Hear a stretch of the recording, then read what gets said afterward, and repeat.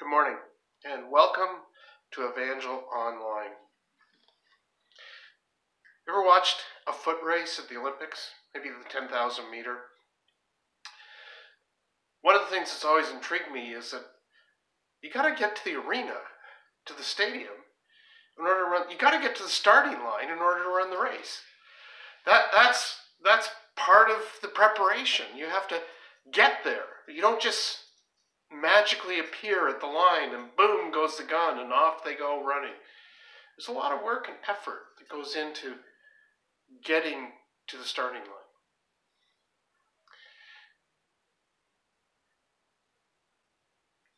And one of the things for believers in our race, living our lives the way Jesus wants us to, one of the things we have to do to get to the starting line is cross boundaries. Have you ever reached out of your comfort zone when it comes to meeting new people? I personally find it difficult to talk to people I don't know. I'd rather speak in front of a thousand people in a crowded room than have to make conversation with a new person. It's, it's the way I'm wired. I've gotten better at it. I work hard at it, but it's not easy for me crossing social boundaries is hard. We naturally want to gravitate to people that we already know. And if we don't know them, we really want to be comfortable with them. So they should look like us and act like us, think like us. And we just find it easier to connect with people who are like us. It takes effort to connect with people who aren't like us. That's why most people never break out of their social groups and circles. They gravitate to people who are like them, have similar experiences and similar backgrounds. Because crossing boundaries is hard. However, as Christ followers, we have to be prepared to cross social boundaries. Because, quite frankly, it's always been expected of us. Every major character in the New Testament was asked of God to go and connect with people that were out of their comfort zone. Just look at the disciples. They were average Joes, everyday common people who got sent to the whole world. One minute, Peter is fishing at the Sea of Galilee, and the next thing you know, God's calling them to travel all over the known world and help to look after churches and and Thomas and Andrew and Nathaniel, all of these guys, they were just normal people like you and me. And God says to them, Here's the calling that I'm placing on you. Put aside your nets, your tools, your rakes, your hoes, and go all over my creation. Turn it upside down for me. Let's take a look at one time in particular Acts chapter 10. Is the famous story of Peter being on the roof of the tanner's house in Joppa, and he's just about lunchtime, and he's been praying, and he's hungry, and God gives him a vision of this sheet coming down from heaven full of all these animals, and God says, Peter, you're hungry. Go, go get one of these and eat it. And Peter says, Oh Lord, they're they're all unclean. I've never touched anything unclean. I, and it happens three times, and each time God says, What I've made clean, don't you call unclean.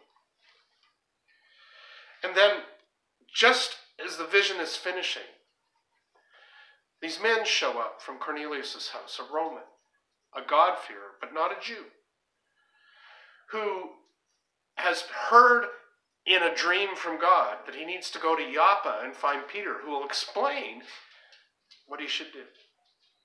So here's God putting together these two people Peter, the Jewish fisherman, Cornelius, the Roman citizen.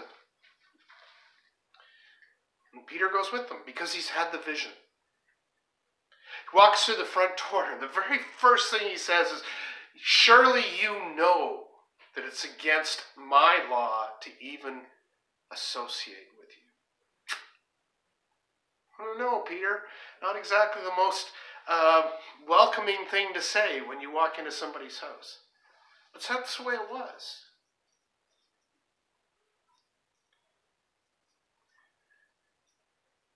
So you can read about this in Acts chapter 10, verses 22 to 33. One of the first things that we learn here is that Peter was willing to go where he hadn't even considered going before. It took a vision from God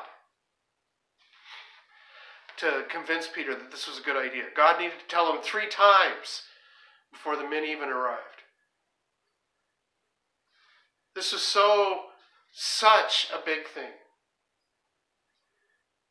And in many ways, this interaction is the real birthplace of the church as we know it. Up until this point, all the, the believers had been Jews. It, it was a subsect of Judaism that was happening here.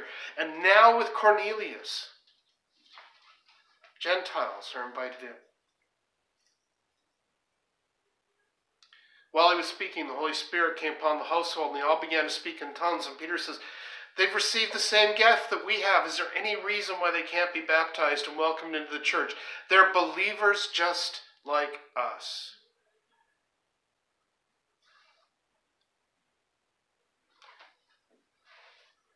And the centurion's and the Cornelius's faith and his household's faith becomes a faith for the whole world.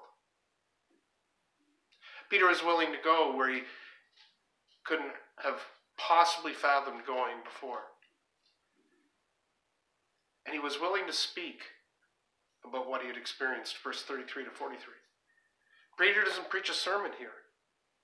There aren't three points, there are no illustrations, no introduction, no conclusion. He just tells Cornelius and his household what happened to him. You know, sometimes I get hung up on what would I say if I actually tried to tell someone about Jesus, what would what would I say to them? What the, the, the three four spiritual laws, the Roman road, what what would I do?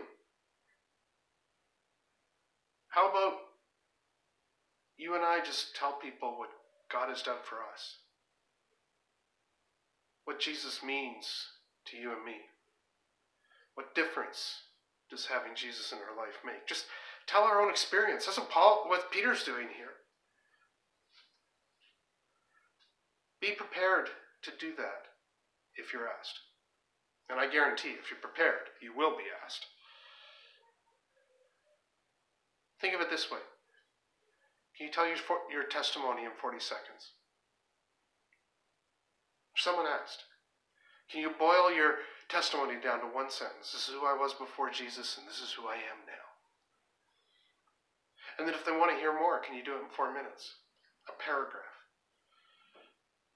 And if they want more, then you can give them the whole essay. This is my life story, pal. I'm going to tell you everything I know. But be prepared. That's getting to the starting line before the gun is fired. And number three, let God worry about the results. Verses 47 to 48. Peter didn't even get to finish what he was saying. While he was speaking, the Holy Spirit came upon the household, and they all began to speak in tongues. And Peter goes, Well, they've received the same gift that we have. So what's to stop them from being baptized and welcomed into the church? They're believers, just like us. Peter took the step of obedience, told his story, and God did the rest. You and I can do the same thing. So, now what? Can I ask you to do one thing? One thing with me right now. Just take a moment and ask the Holy Spirit what boundary crossing relationship does He want you to start? Go ahead, do it right now.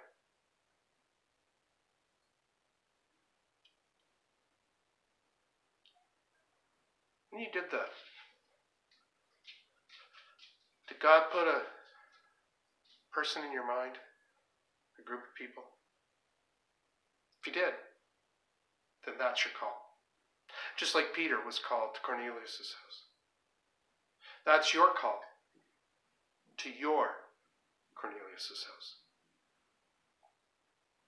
And I pray that you make the effort. You cross that boundary. Tell the story of your experience. And let God do the right